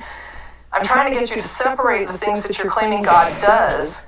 And so, how do we get a look at God to determine that God does do these things that you're saying it does? Oh, okay. Well, see, there, yeah. God, there's no test. There's no scientific experiment or test man can do to find God. God can only be shown if God so chooses to show himself. So you're saying we, there's no way to examine your claims that there's a God behind these things that you think that you're just simply saying a God has to be causing it. And, and, and why? Okay, now I'm why? gonna go to. Now I'm gonna go to this next part because the last. But wait a minute, wait a minute, before you move on, okay, just, No. just look at the problem that I'm dealing with here. I'm trying to understand, but, but what I'm dealing with is God my toaster is burning the toast. Gremlins keep messing with the toaster to make it burn the toast. Why would Tracy say that? And I say, because what else would be burning the toast? And you, and you start to tell me, and I say, no, I reject that. Only gremlins could be causing this. So you say, well, Tracy, do you see gremlins anywhere? And I say, well, they only they can only be seen when they choose to manifest. So I've got a problem here because I'm asserting that these little beings are doing something, but I'm not really demonstrating the little beings. And if they don't exist, then something else is burning the toast. Whether I believe the gremlins are doing it or not is irrelevant. If I can't Okay, demonstrate agree. gremlins, they're not burning the toast. Right. Okay, I agree. Or they may not. I don't know. Right, I agree with you there. That it could be something as simple as you have a malfunctioning to- toaster that's not working properly and you just have to get the circuit God fixed. fucking- Or God your damn it. analogy, it could actually be invisible God gremlins damn that are messing with the surf tree. Mm-hmm. I'm not saying it is. I'm God saying it could it. be. Right, but I'm saying convince me that it's not. Jesus fucking Convince you that Christ. it's not, Not the gremlins. Well, God fucking damn it. I don't know if it is or not. Like, Okay, but, but do you God, believe me? Do you think that it's reasonable for me to assert that it is? If I can't demonstrate them, and if I tell you that there's no way to examine them, and there's no way to prove that these things are, fuck but I'm going to continue to say that something that I can't even confirm exists Okay. is causing things. I'll tell you what. I'll tell you what, Casey. If you if you're having the problem with one toaster and you go get that toaster God, fixed, or even replace it, and you'll get a brand new toaster, and then you keep having that problem again and again and again, and every time you put a toaster in a certain geographical location in your house, it does this. But if you plug it into any other receptacle, it doesn't. Well, then I would say you have evidence that there must be something supernatural going on, Why? or it could be that receptacle. So then, if you get the receptacle, you get an electrician to look at the receptacle and fix the receptacle, bucket. and look at and cross every, go through every possibility God, that the receptacle's bucket. fine. And every time you plug this toaster in the receptacle, just with you and nobody else, it's doing something. Well, then I would say you got evidence that there's something else going on and it can't be explained in a naturalistic frame. God. Does it mean gremlins? Some something supernatural. It doesn't necessarily Why would you think it's something supernatural? When you can't find a cause, why would you jump to supernatural? Is there evidence that the claim is supernatural? No, you've only said we haven't found a natural cause. You have not demonstrated a supernatural cause. What the, okay, okay. How can you demonstrate if there's a if there's a supernatural cause if you think that everything that ha- everything that happens damn it. must have a natural cause? By cause? demonstrating the supernatural. But how can you demonstrate God the supernatural? if That's up to you, because that's what you have to do. God. That's damn what you're basically saying. You're basically saying I don't have to demonstrate my cause because God. Su- I'm just going to label it supernatural, so I don't, I'm not. There is no burden on me to demonstrate the cause. All I have to do is say I don't accept the natural explanations, and that makes it supernatural, and that's incorrect. You have not demonstrated there is supernatural at all. No, no, no, no. No, I'm, I'm saying that if I have gone Fuck through off. every possible way that it could have a naturalistic claim. How do you know you've gone through every possible way that it could be naturally explained? How do you know this? How do you know that there's Okay, not a natural every explanation you haven't way overlooked? that- Every possible God way that can be explained in this way. So then, if I've gone through every possible way that I can God imagine and fuck anybody else is, and it's still doing the same thing, And you still have to demonstrate your supernatural exists, or you cannot just simply say, you would just, at that God point, damn it. the only honest thing would be to say, I don't know what's causing this. okay, but what if that is evidence of the supernatural? It's supernatural? not. It's evidence that you don't know what's causing it. Do you know that that's not evidence that's crossed? That, that, Yes, because evidence of the supernatural would demonstrate the supernatural actually exists. If you can't demonstrate the supernatural exists, and you say, I've tried every natural explanation I can think of, you are left with, I do not know what is causing this because we have no no demonstration that there really is a supernatural. And all the natural explanations we have exhausted, and we still do not have an answer. God the answer does not just default to supernatural. That's ridiculous. God damn it. Yeah, Okay, but it does warrant investigation. Yes, I would. I would love to investigate, and I would love to find evidence if there is supernatural, so that we could start examining how the supernatural functions damn and it. how it causes God things. it. That would be a really stunning thing to discover. God okay, all right, all right. Okay, that's what I'm saying, right? So I'm saying, fine. You don't get to just jump to the supernatural, but you can God say, let's it. investigate and look at it and see if this has got a supernatural cause. I think anybody would, would want to investigate God something that they don't understand or don't know. If I don't know what's causing something, investigating is ex- uh, God absolutely the proper step. Okay. All right. God so that damn is it. the, the process. Like, don't just think I jumped on Christianity one day. Like seven years from '92 to '99, where I looked at it from all different perspectives and sides, and then finally I said, okay, I'll give it a try. But it didn't just end there. God Like, I'm giving you my damn it. personal life experience of it, but I'm just trying to let you know that I did go through this whole process, and so like I put it to the test. I tried God it. I looked at it from damn various it. different perspectives, and Yeah, so um, first off, where does your personal experience inform you about something that happened at the fucking beginning of the universe? I mean, I mean, God you say it it. doesn't just re- relate back to Christianity, God but if damn I it. told you God that I damn it. invented a time machine God and I created the universe, would you believe me? um, Mark? well, unless you I got went back in time, time. probably not. Okay, then do I have the same? Uh, can you? Am I on the same level as your God? Goddamn motherfucker. Can would you say that it's equally likely that Eric created the universe and my God created the universe? God damn it. Well, like I said, if you could show me a time machine, then fine, I was there, God right? I believe fuck that. it. Okay, so can you Now have the fucking same remove this standard of porn out, evidence you for your God? slut. Um, well, I sort of do. Now fucking remove You do. God damn it. Okay, Yeah. Then Now fucking remove But this this is a porn pure out here. personal life experience. Now like I said, fucking like, it's not- yeah, Now and, and, and, I, now I, I think fucking that the remove this underpinnings porn. of that Now isn't fucking completely remove honest. this- now That's why I'm fucking taking it, remove 'cause I this wanna see porn if right it's here. true. Um, I also think that um, when it comes to talking about things that you don't understand, right? Tracy had it absolutely right. It's saying I don't know. Like that's that, that's where you stop. You know, you stop trying to come up with answers when you don't have answers, and you say I don't know, and you continue to investigate. And if you don't know, and you don't know by the time you die, you leave it for the next generation to pick up. You don't just get to say, you know, my God or. Eric went back in time and created the universe.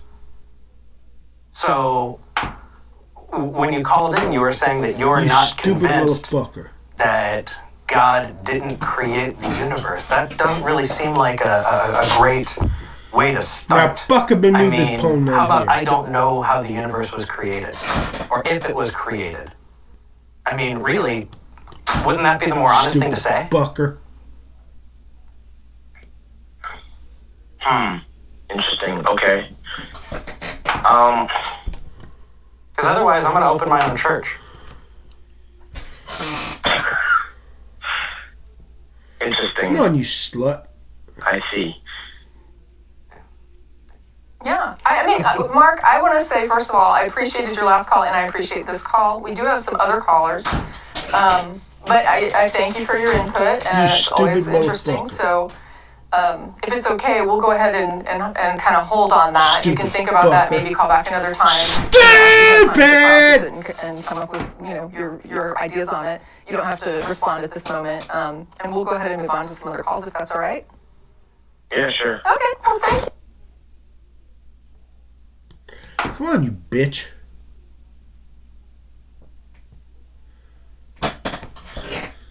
Come on, you stupid bitch. You stupid fucking bitch. Come on, you stupid bitch.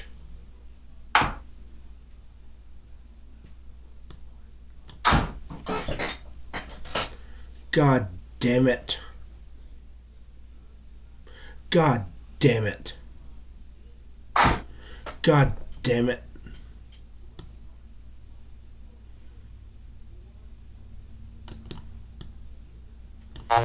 God damn it. God damn it. God damn it. God, God damn it. Stupid fucker.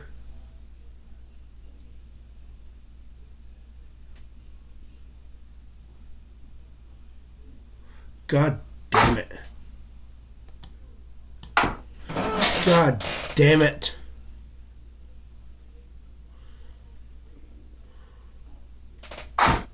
God damn it.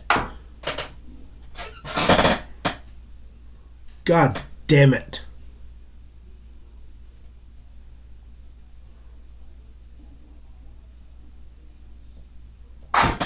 God damn it. God fucking damn it. No. God damn it. Ah, with Spitster. She's cute. Man, she got some spit arms. She's cute.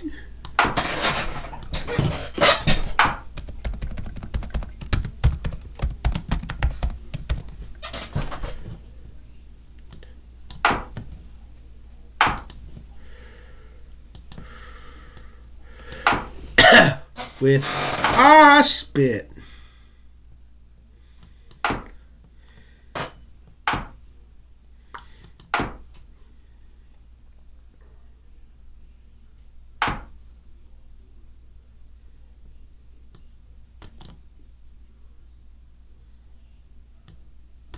God damn it.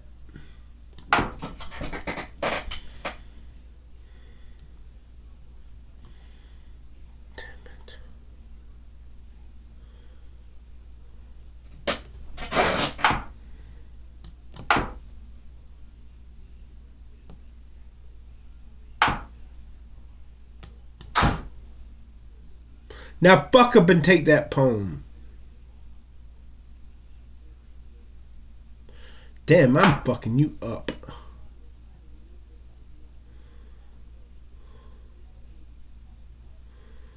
Hmm.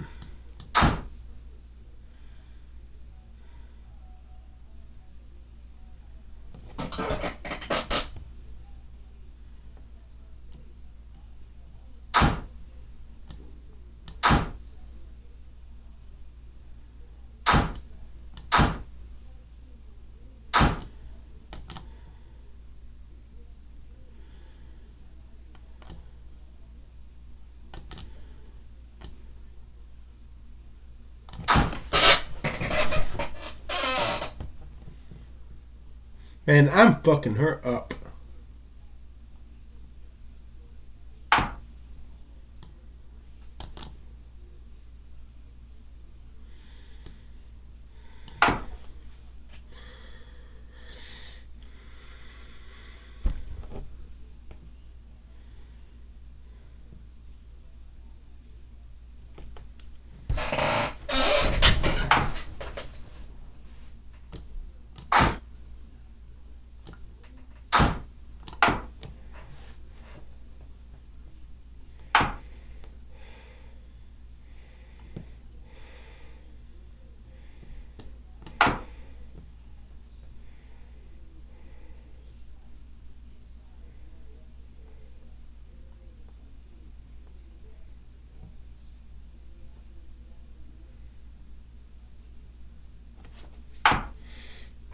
She's bringing out that whore.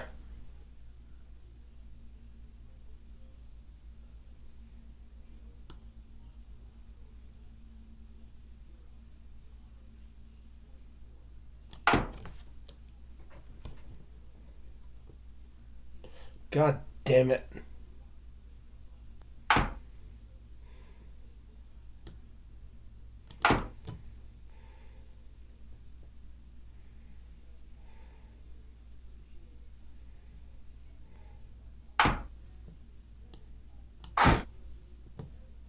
I could on for son of the fuck out of her.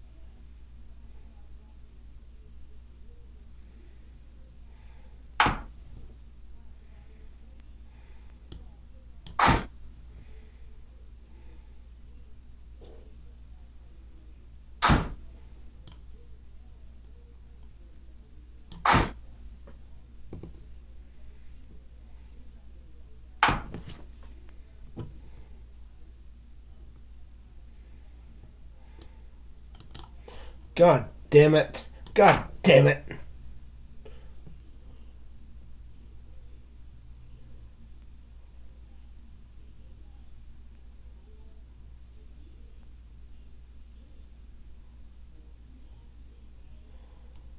God damn it, I fucked up.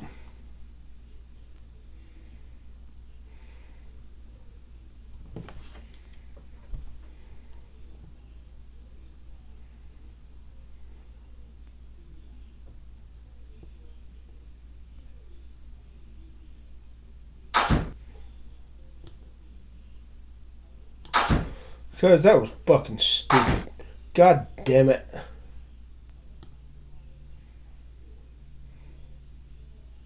God damn it. God damn it.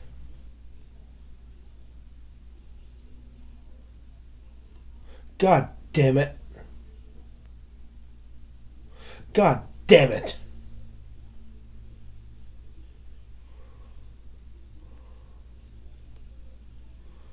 God damn it.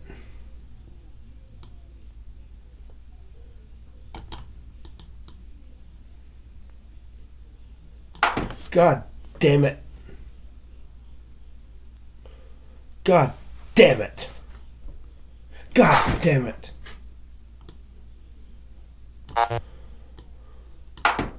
God damn it. God damn it. God damn it. God fucking damn it.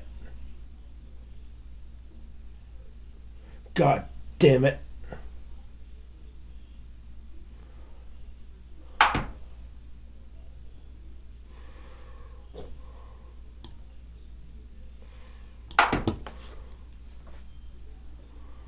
God damn it.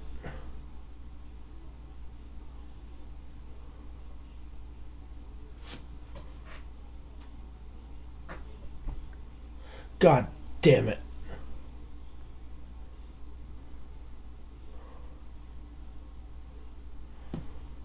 Come on, you goddamn motherfucker. God damn it. God fucking damn it.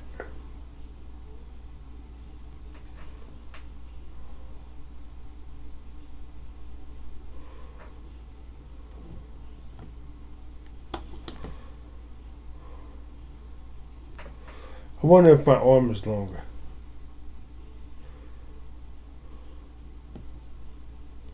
Was Pit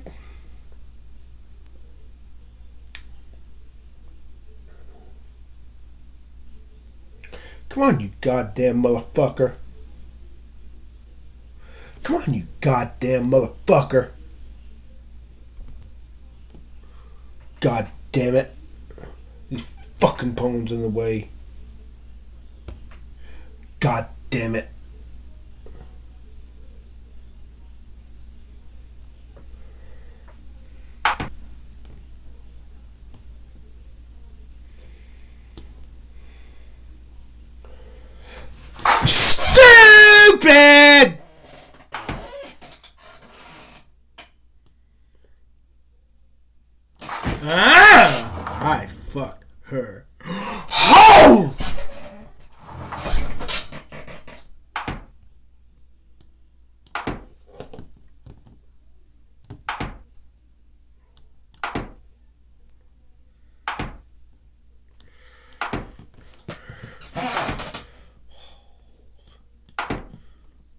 Hmm.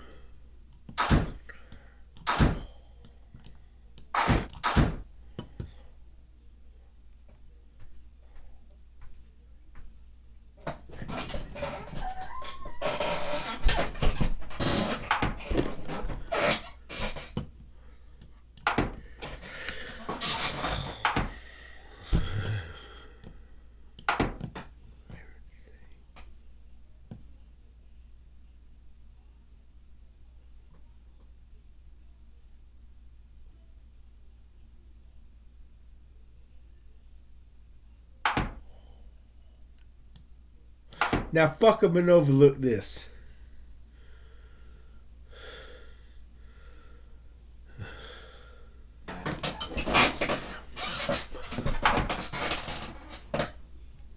Bitch, suck my dick, bitch.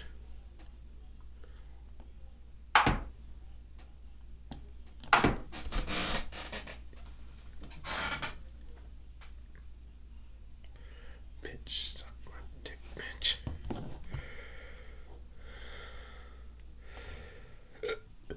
No. No. Yeah, she was a very good sport. I just outsmarted her. I just outsmarted the fuck out of her. And I unpercented the fuck out of her. What the fuck? Well, fuck you too.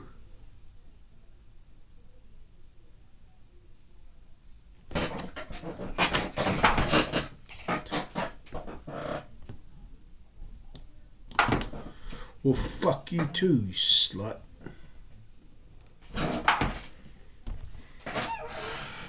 Well, fuck you too.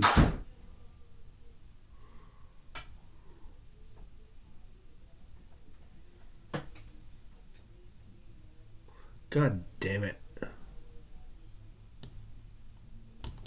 God damn it.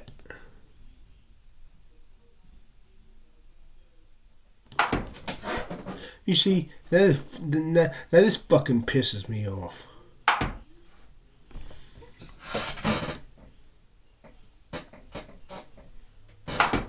God damn it. I didn't want to do that fucking shit.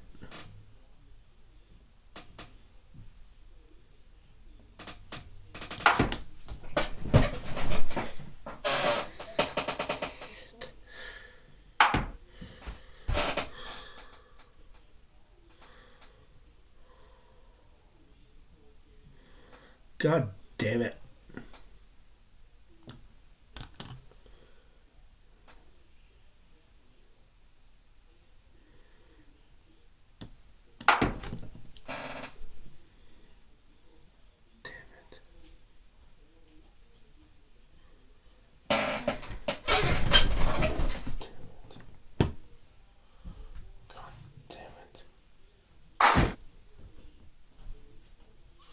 Suck my slut.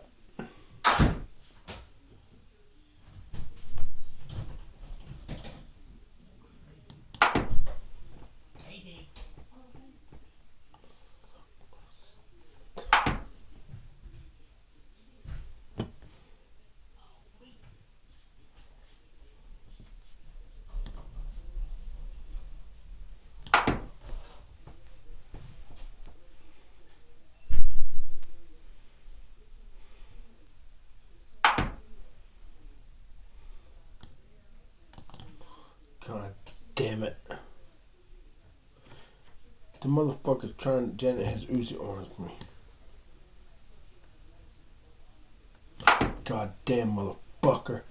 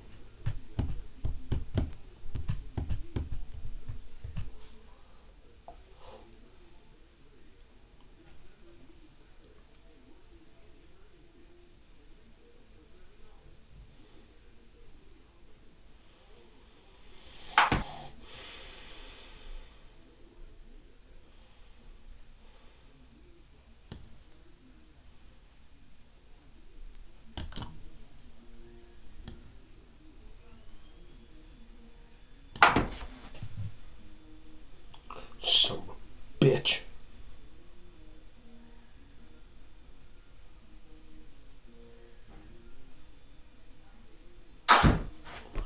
God damn it.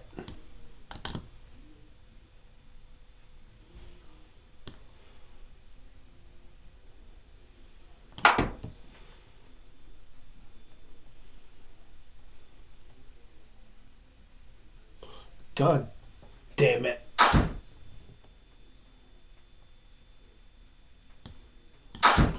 God damn it. One of those fucking pieces. God damn it. Stupid! Because that was stupid. Because that was stupid with a capital S.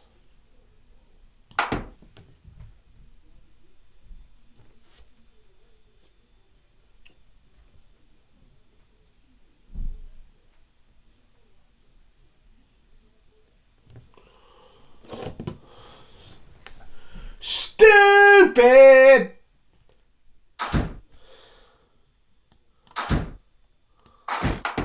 God damn it. God damn it.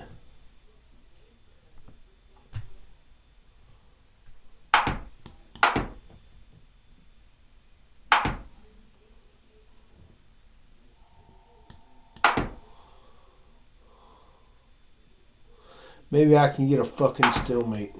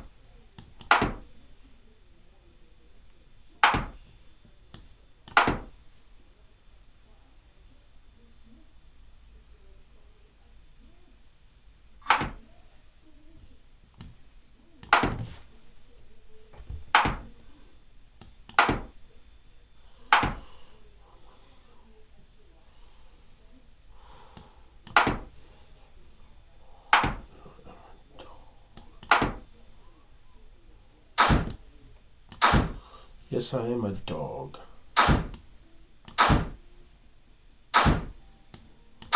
Damn, let the starter begin, you slut.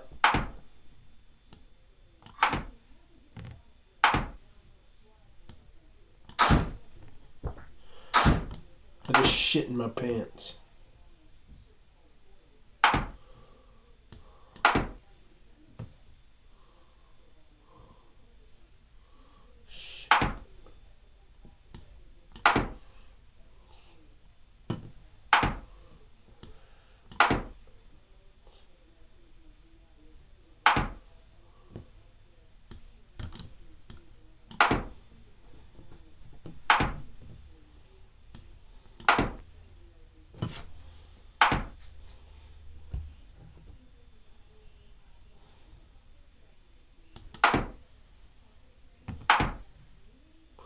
God fucking damn it.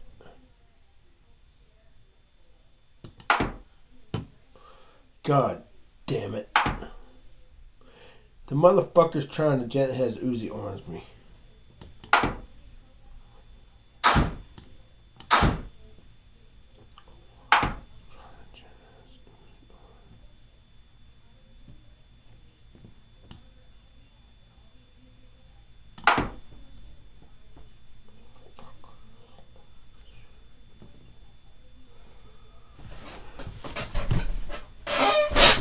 Man, this is bullshit.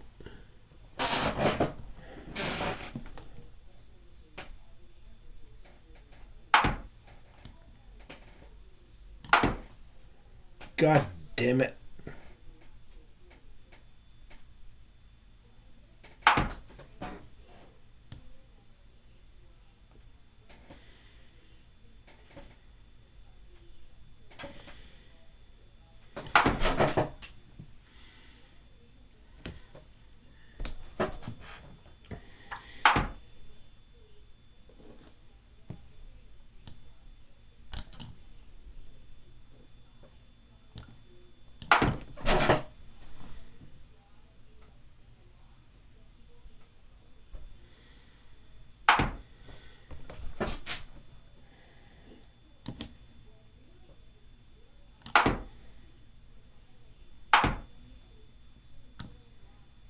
It's time Jen. It's time that Jen as Uzi arms you.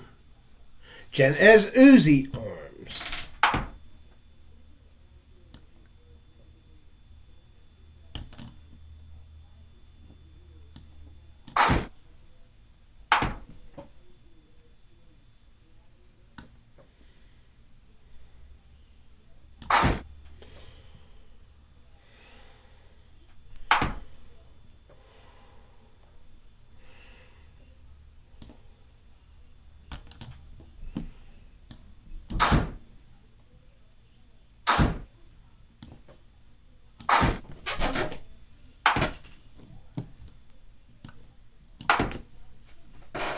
I'm getting in your business. I'm getting in your business, you slut. Damn, I'm fucking you up. Damn, I'm fucking you up.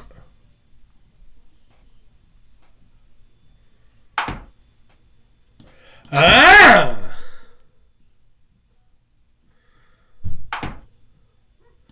Ah! Eh, eh.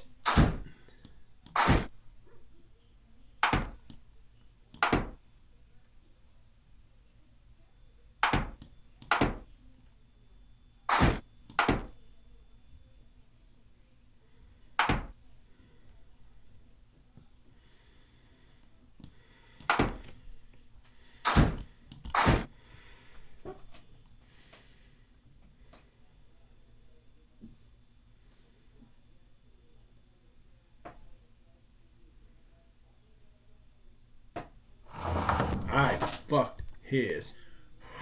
Ho!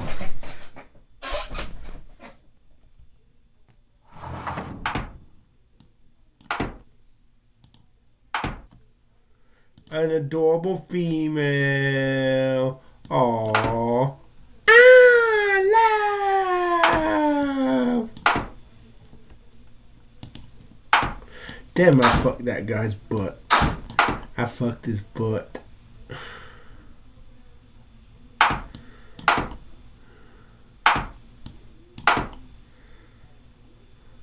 Now buck up and overlook this.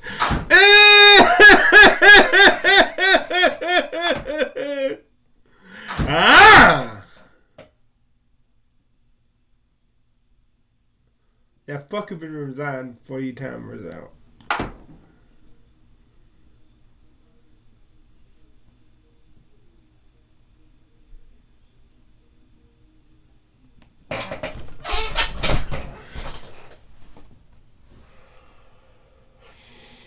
Into you, you waffle. I fucked his.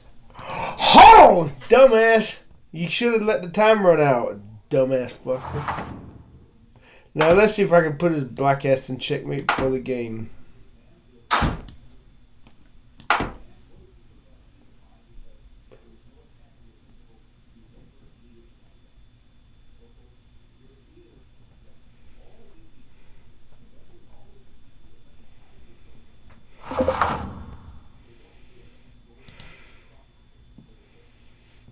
Eight. You mean I came in I, I, and placed? I, I came to the 18th place out of the 17.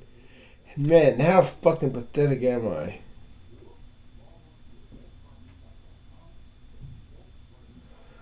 Okay, last game. Win, lose, draw, glitch, abandon, abort, internet go out, or one fuse the ring match.